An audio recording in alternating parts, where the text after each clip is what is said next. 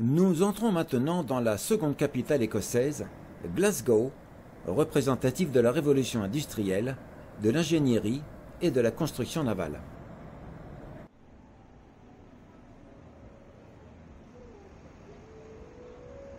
Glasgow est aussi le berceau de nombreux groupes de rock, pop rock et new wave des années 70 à 90.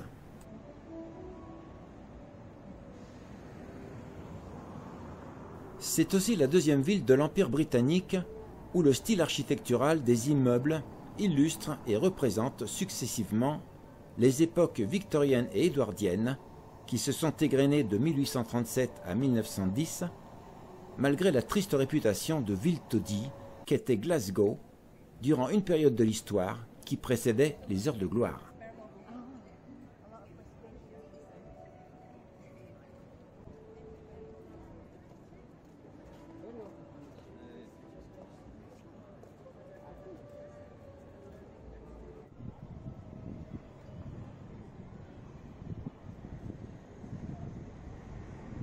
L'hôtel Argile Arcade a ouvert ses portes en 1827.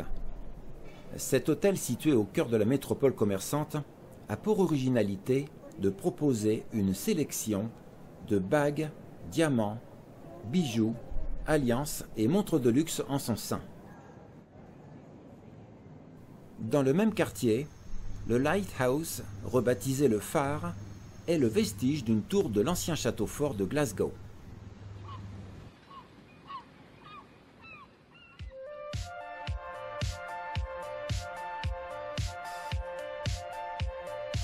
C'est dans un méandre de la rivière Kelvin à Glasgow qu'a été implantée en 1870 la nouvelle université de Glasgow à laquelle est associée une tour de la chapelle commémorative. C'est une chapelle interconfessionnelle dédiée à la mémoire des anciens étudiants et membres du personnel de l'université qui ont perdu la vie pendant la Première Guerre mondiale.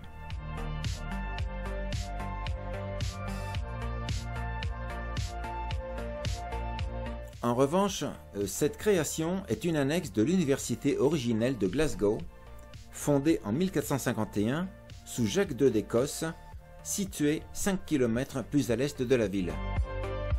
Elle était considérée au départ comme un nouveau campus. C'est surtout le haut de la tour qui est le plus admirable, avec cette flèche en pierre dentelée et ses quatre irrésistibles tourelles excentrées.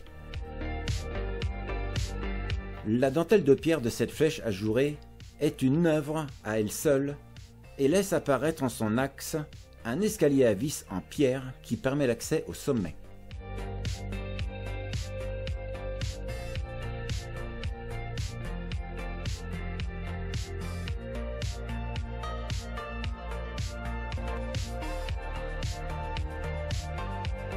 Le style néogothique du bâtiment est le piédestal de la finesse et de l'élégance de cette tour.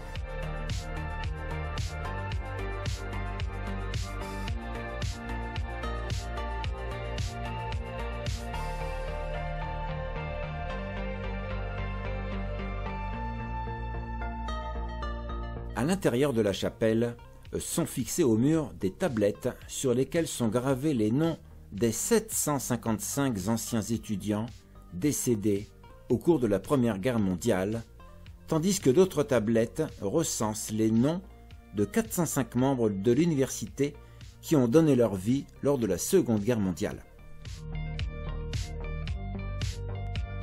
La chapelle a été aménagée de stalles en bois à l'intérieur et d'un cloître exponentiel à l'extérieur.